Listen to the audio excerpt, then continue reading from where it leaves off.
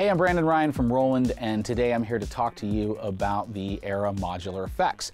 Particularly, we're going to talk about the Demora, which is a very high resolution delay.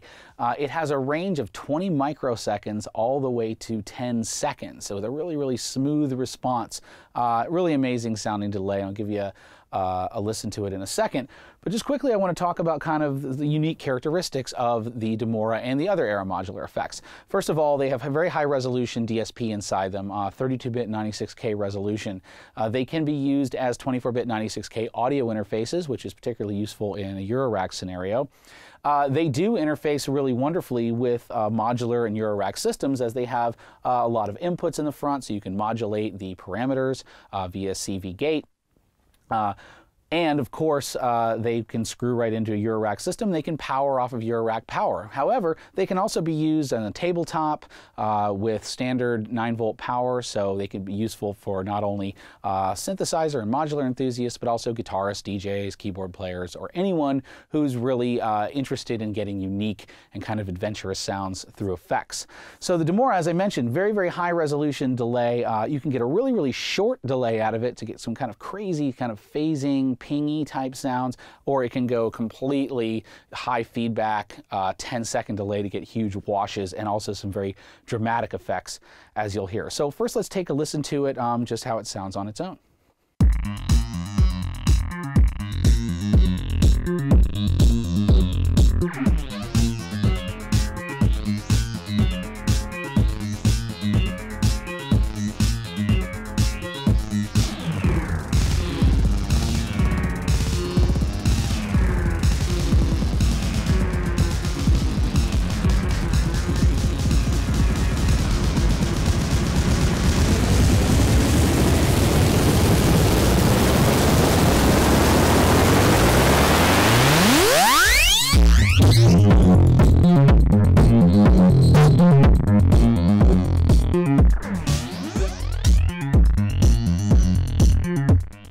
So as you can see, it can do some really cool short delay sounds or some really, really dramatic uh, delay sounds, to say the least.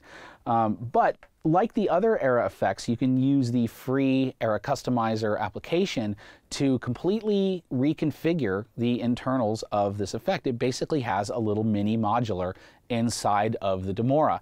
Uh, you can access this via Mac or PC over USB, uh, or on Android tablets, iOS phones, and iOS tablets just using standard audio input. So I'm going to go ahead and just take a audio cable connected right to the audio output of an iPad, plug it into the remote input in the front here, and uh, in the uh, customizer, I can go ahead and say, all right, well, what module do we want to work with? We want to work with Demora, and then I can change anything I want about it. So I have 15, currently 15 submodules. There will be more, uh, and I can say, well, let's maybe put a 6 dB filter here, and I go ahead and make my connections just by dragging and dropping to any available input, and I can continue to add modules.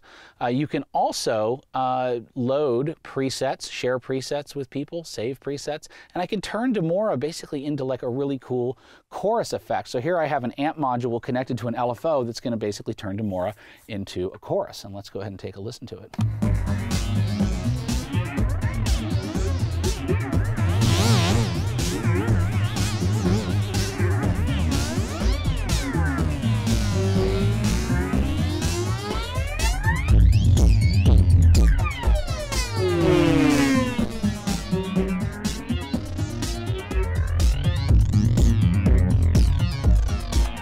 That's just one of the things you can do with it. You can also turn it into a flanger uh, or create any kind of wild effects that are really uh, only limited by your imagination with these things. So again, this is one of the AIRA modular effects. They can be used tabletop, they can be used in Eurorack.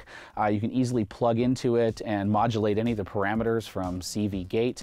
Uh, very, very high resolution sound, made in Japan, high build quality, and great feel. If you have any more questions about uh, this AIRA effect or any others, contact your Sweetwater sales engineer. I'm Brandon Ryan from Roland. Thank you very much.